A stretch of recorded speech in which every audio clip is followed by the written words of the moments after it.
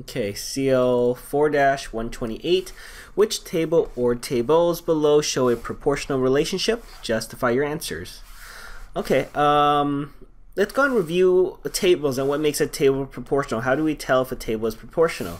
Well, hopefully you guys remember uh, the two uh, two simple criteria. The first one is that um, if you have a table x y uh, if you have an x value of 0, the y value has to be 0 as well. If it's not, it is not proportional. Second one is that um, the rates, the rate of change, um, or the growth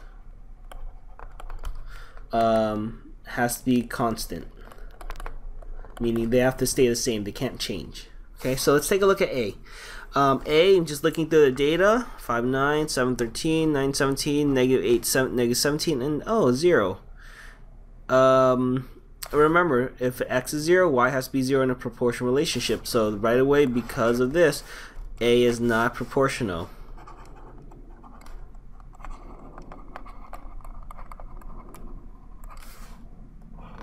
Okay, let's take a look at B. Um, for B, let's see, let's see, um, okay, 7, 3 and a half, 14, 7, um, negative 12, negative 6, negative 36, negative 18, 9, 4 and a half. You guys notice, it looks like what's going on is we just either multiply y times 2 to get x or divide x by 2 to get y. And it looks like it's the same for all these relationships. So that's telling me that the rate of change seems like it's uh, the rate of change is constant. Okay, so the rate of change or the growth is constant, which is a good thing. That means that um, that it might be proportional. So check that. And what about um, x? We have to figure out if x is zero, what's y going to be? Okay, well let's take a look at this.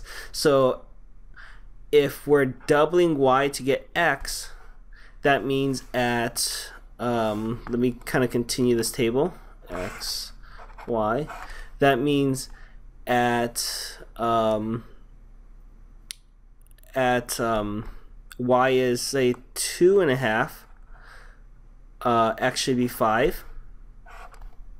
Okay, and this continues to make sense. Um, let's say that x is 3, this would be 1 and a half. If x is 2, y would be 1. If x is 1, y would be only 1 half. So if x is 0, y is going to be 0. And let's actually take a look at the growth pattern. For every one increase in y, I'm sorry, one increase in x, y increases by 1 half. Okay, plus 1 half plus 1. Okay, plus 1, sorry.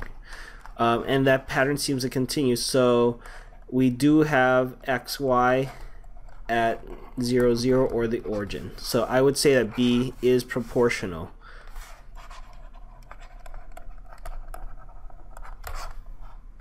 Okay, finally let's take a look at C. Okay, C, it has at xy, it is at 0, 0, which is a good thing.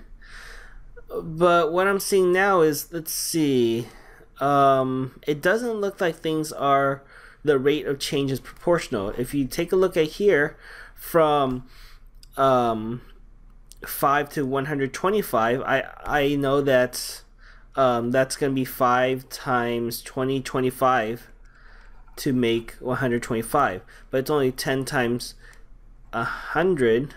Is that 100? 10 times 100 to get um, from 10 to 1,000, or 4 times 12 to get to 48. So these changes are not consistent. The rate of change